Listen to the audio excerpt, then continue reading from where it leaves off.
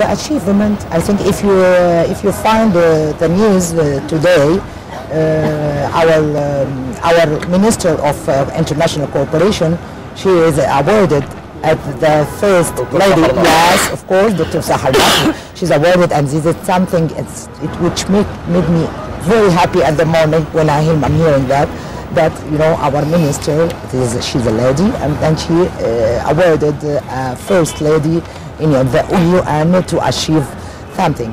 Um, about uh, the achievement we have now in the parliament more than 200 women in the uh, parliament so I think I think it's a very good achievement too. Uh, the national uh, the national center the national uh, council of uh, women now did a lot to try to educate to try to educate the illiterate about the, the question of illiterate uh, and,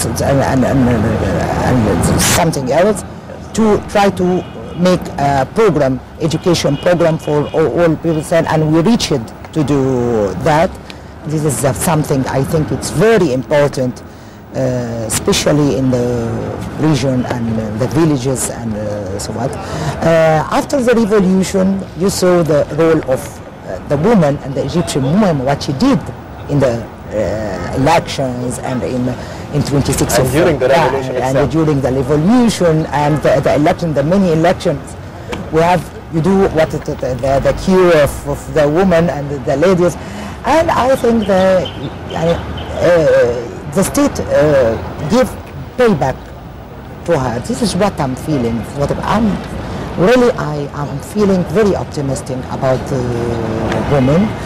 I think she started to take her rights when we take when the woman rights. No, she takes her right. Maybe maybe some people different with me or agree. I don't know. But but what I'm, I'm, saying and in my personal idea that the woman Egyptian woman really started to take all her in this period. I think it's it is the golden period to us because they started to take all the rights and uh, but okay Go ahead, uh, ah, Dr. Ferruccino.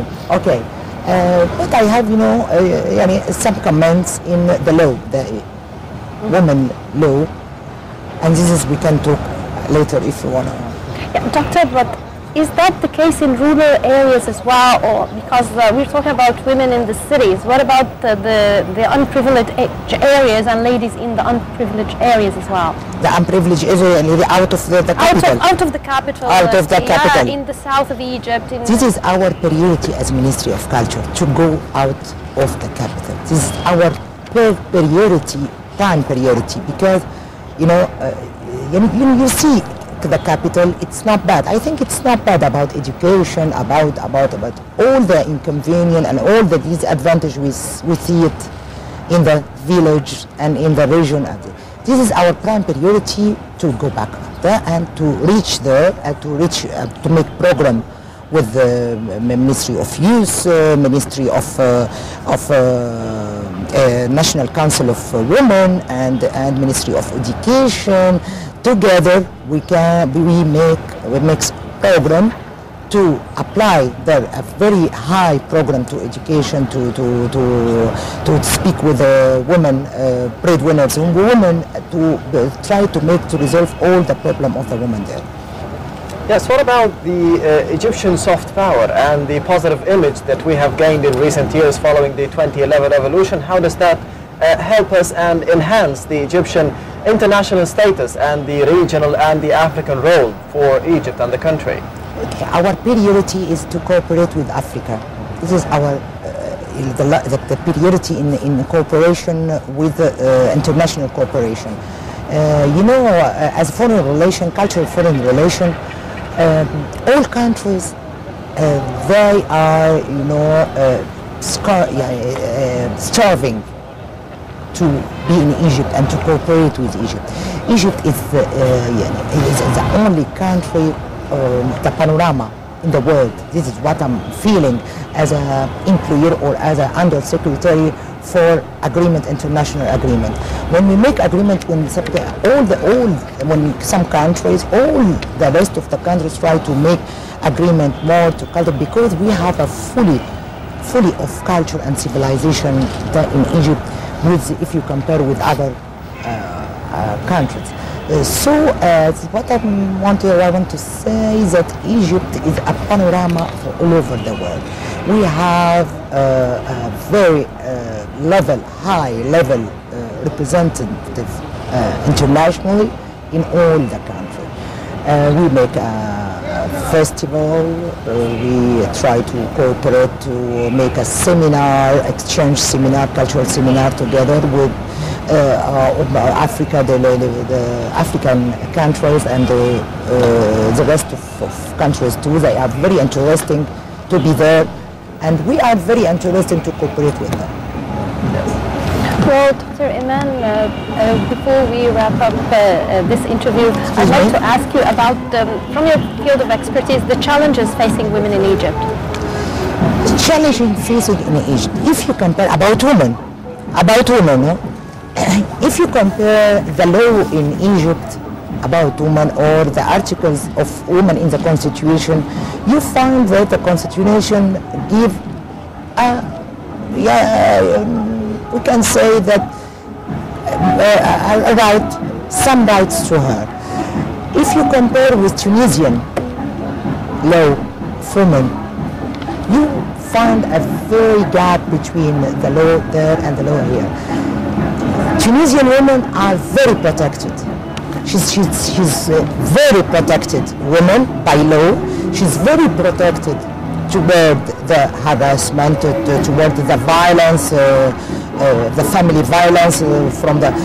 She has, you know, a very, very, very high rights in you know the, the, the women in the world. And Tunisia is an Arabic country, so, so we have or or I want to first apply the law. Second, uh, try to uh, revise or revive the uh, the law again. Yes, and the law, the law this of the would happen in the This is the challenge, the only years. challenge that I, I Yes, see. uh, Dr. Iman Nigmadi, I'm the Secretary of the Ministry of Culture. Thank you very much for being with us today on Nile Cruise. Thank you, thank you for the teamwork too. Thank you. Thank you. Thank you. And uh, we will be going out for a quick break, so stay tuned.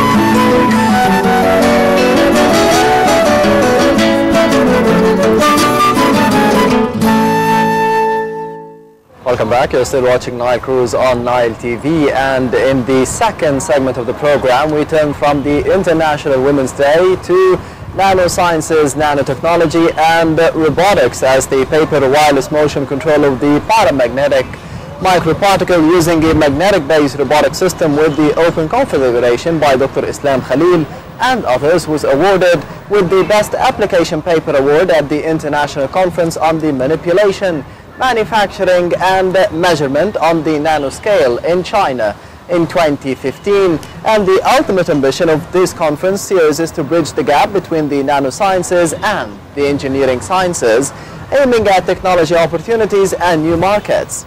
The advanced technologies uh, for manipulation, manufacturing and measurement at the nanoscale uh, promise new revolutionary products and methods in numerous areas of uh, application and to be speaking more about the development of such a field. Uh, today we are hosting Professor Dr. Islam Khalil, the Assistant Professor of uh, Robotics. Thank you very much for being with us today on Nile Cruise. Thank you, Ahmed. Thank you. Wel- Rashid. welcome Thank with us, Dr. Thank Islam. you. Actually, uh, it's worth mentioning also that actually the, the paper itself has been implemented and already they've underwent uh, the experimentations uh, of it to make uh, sperm-inspired micro robots and that would be helping in many uh, medical uh, procedures as well, like cancer treatment, for instance. Now, Dr. Islam, first of all, would you tell us uh, more about uh, the start of that idea and how did you start uh, the experiment? Uh, well, thank you for the introduction. And the, the first thing is